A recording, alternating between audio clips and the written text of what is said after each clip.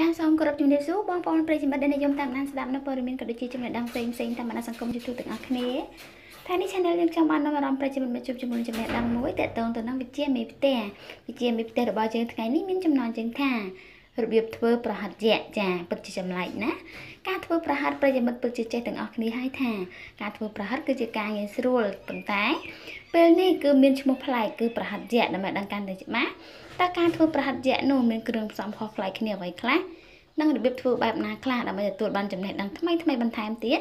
សូមមេត្តាតាមដានទាំងអស់គ្នាជាមួយខ្ញុំក្នុងអត្ថបទនេះតែមុននឹងឈានចូលដល់ចំណេះដឹងកាន់តែលម្អិត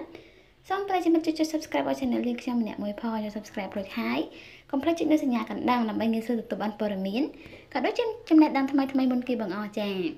ប្រហិតយៈរបស់យើងគ្រឿងផ្សំមានដូចជាសាច់ជ្រូកចិញ្ច្រាំ8ខាំខ្ទឹមសឬចាតាំងអោនិងម្រេច50ចា45ក្រាម ទឹកស៊ីអ៊ីវ2ស្លាបព្រាបាយផ្សិតស្រស់20ក្រាម ខ្ទឹមបារាំង20ក្រាម ម្ទេសហាវ៉ៃ20ក្រាម ការ៉ុត20ក្រាមពោត20ក្រាម ស្លឹកខ្ទឹមចាពងក្រួច បង្គាប្រេងឆាចាខ្ទឹមសគល់ស្លឹកគ្រៃ និងខ្ទឹមក្រហម60ក្រាមចាសូមបញ្ជាក់ថាទាំង3មុខនេះយើងដាក់លាយចូលគ្នាចំនួន60ក្រាមចាហើយហាន់វាល្អិតល្អិតគ្រប់មុខទាំងអស់ចាចំណុចឯពងក្រួចគឺយើងស្ងោរឲ្យឆ្អិនហើយបកសំបកវាចេញបងគាបកសំបកវាចេញលាងទឹកឲ្យស្អាតផងដែរចំណែកឯទឹកមាន400មីលីលីត្រស្លឹកក្រូចសើច3 4 5សន្លឹកម្ទេសដាក់តាមចំណង់ចំណូលចិត្តរបស់អ្នកម្ទេសឆា40ក្រាមម្សៅសំរសជាតិកន្លះស្លាបព្រាបាយ ម្រេចម៉ត់1ស្លាបព្រាកាហ្វេស្ករ1ស្លាបព្រាបាយទឹកត្រី1ស្លាបព្រាបាយកន្លះចាទឹកម្ទេសផ្អែម1ស្លាបព្រាបាយ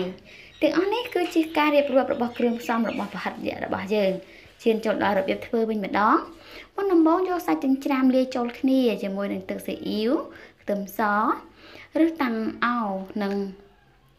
ម្រេចឲ្យបានសព្វល្អ